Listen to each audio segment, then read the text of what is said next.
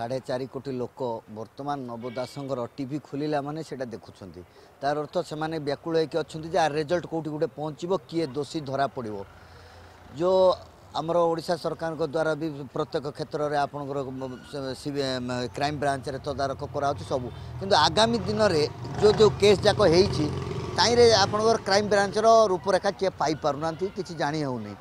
বর্তমান লোক বি আশায়িত অনেক যে যদি সিবিআই কু এটা প্রদান করা গলে সে প্রকৃত তথ্য নিকাড়ব যে বি হোক আজ্ঞা তা মর্ডর যিয়ে হোক কোণ মারলে কোণ সিবিআই কু দেওয়া অসুবিধা কোটি আমি জাঁপারু সিবিআই কু দেলে আপনার সাড়ে চারি কোটি লোক বর্তমানে আইন উপরে আশা উঠিগলা লোকর লোক চাহুমান কমিটি সিবিআই তদন্ত করি বর্তমান স্যার আগামী দিনে এটা যেতে লিঙ্গরিং হলে বি লোকর আকৃষ্ট হয়ে থাকবে কমিটি নব দাসঙ্ক মৃত্যু খবর বিষয়ে জাঁয়া